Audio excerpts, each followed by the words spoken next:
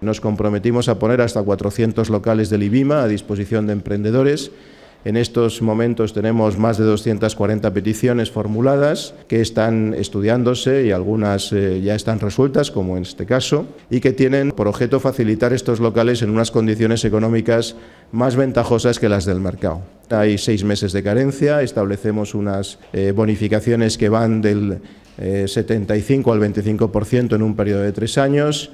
El precio está en el entorno de los 7 o 9 euros metro cuadrado. Los locales oscilan entre los 14 y los 1.200 metros cuadrados.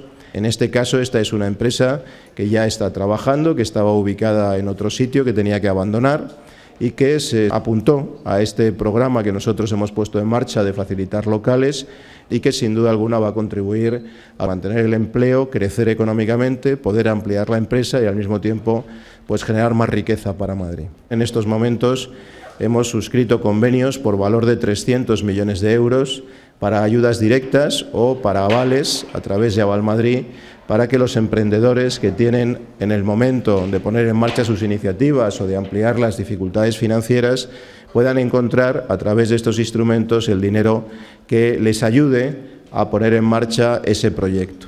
Y este apoyo a los emprendedores es también muy importante desde el punto de vista del empleo.